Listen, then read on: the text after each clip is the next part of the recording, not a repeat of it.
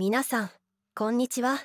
タレントやす子の五輪にかけたポジティブ X 投稿に対して不適切なコメントを投稿したことが問題となったタレントフワちゃんが11日活動休止を発表しました。今回はそんな今騒がれているフワちゃんについてお話ししていこうと思います。是非最後までご視聴ください。それでは早速見ていきましょう。10日から11日にかけて週末の多くの情報番組ではフワちゃんの問題が取り上げられました。出演したコメンテーターや芸能人からもフワちゃんが8日に X 投稿した。謝罪文に併記した経緯釈明が理解を得るのは難しいのではとの指摘が相次いでいます。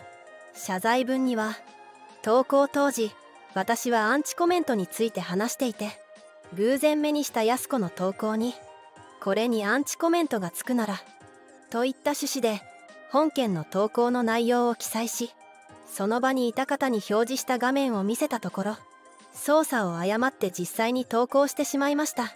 と記載。謝罪方法としてはたとえ釈明が事実であってもスムーズに入ってこない内容である以上は謝罪文に詰め込むことは周囲も制止すべきだったとの指摘が多かったと言われています。本人的にはいつものノリで X に書いたのでしょうが飲みの席なら冗談で済むかもしれませんが書き言葉は重い。フワちゃん自身も言っちゃいけないことを言った。と後悔の投稿をしましたが後の祭りです。と中には安子の尊厳を踏みにじった。と意見を述べる方もいました。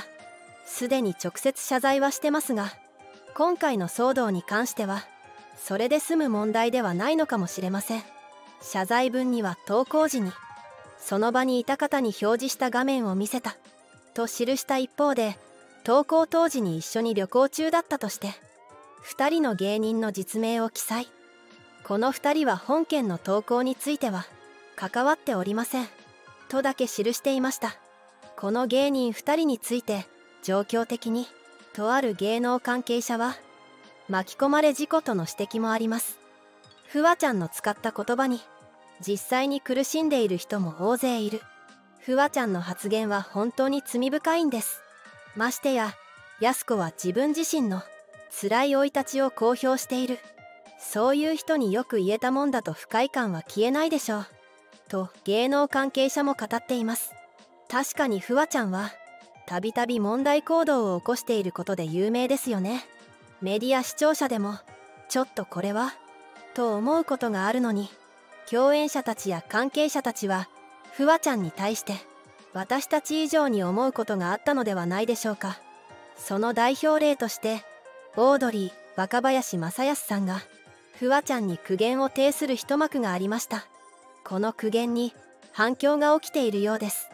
今回のゲストはとにかく明るい芸人のフワちゃんとみやぞんテレビで活躍するようになって約6年経ったフワちゃんに対し若林さんは6年ってさちょっと偉くなっちゃうけど全然偉くならないねと周囲からの扱いが変わらないと笑いながら話しました。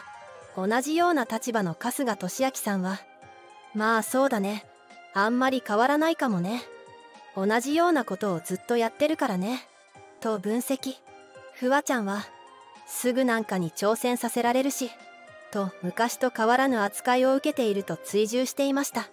ここで若林さんはフワちゃんがレギュラー出演する昼の帯バラエティ番組ヒルナンデスについて言及。その時見たのが大きな風船を落とさないように何回トスできるかを競う企画。MC のうっちゃんなんちゃん南原清隆さんらが中心となり慎重に風船をトスする中フワちゃんがフルスイングで風船にアタックし客席の向こうまで飛ばしたといいます。若林さんはその様子を見て多分フワちゃんルール聞いてなかったの。最初のルール説明をと推測。フワちゃんもそうなんだよと悶絶していたようです。その時南原さんらはえ？と戸惑いながらそういうんじゃないよとフワちゃんに説教していたのですがこれに若林さんは共感。笑いながらまだこいつこんなことやってるのかと思って俺許せなくて南原さんの立場になったらと南原さんの気持ちに寄り添ってフワちゃんをたしなめていました「ヒルナンデス」にレギュラー出演していたオードリー。プライベートでも交流のある親友南原さんの怒りを若林さんが代弁した形となりました。この若林さんの指摘に視聴者が反応しており「フワちゃんさすがすぎるよ」南原さんの親友として許せなかった。といった声が寄せられていました。やはりテレビに出演する方の中にもフワちゃんに対しての思いを我慢できずに吐露してしまう人もいるようですね。今回なぜフワちゃんがこんなにも世間からバッシングを受けているのかというと2024年8月4日にフワちゃんがやす子が投稿したツイートを引用投稿しその内容がいかなるものかということですよね。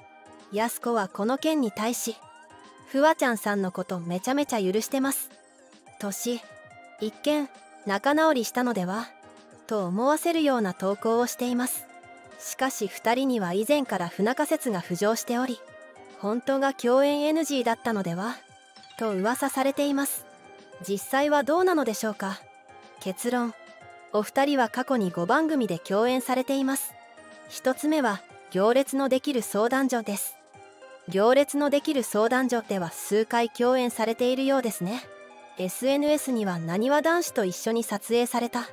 動画が投稿されており一見仲良さそうに感じます。ですがスタジオではフワちゃんのハイテンションな発言とやす子の冷静な発言の違いに2人の間には独特の雰囲気が漂っていたそうです。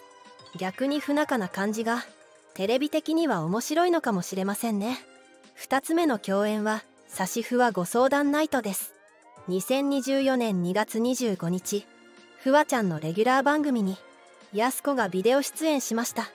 内容はやす子がフワちゃん指原さん若月さんに悩みを相談するというものでした。やす子の相談に対してフワちゃんも真剣に聞いて答えていました。3つ目の共演はグルナイ面白そうです。グルナイの人気企画で放送される。面白そうでは新人芸人がネタを披露し面白さを競い合います。やす子が出演した際フワちゃんも出演されていました。お互いキャラクターが対照的で存在感が際立っていました。4つ目の共演は「01」です。2023年9月まで放送されていた情報番組「01」では MC を指原さんが務めフワちゃんもレギュラー出演していました。やす子はロケ企画の「真夜中食堂の客はどんな人?」に何度か出演しています。5つ目の共演は「サンデージャポン」です。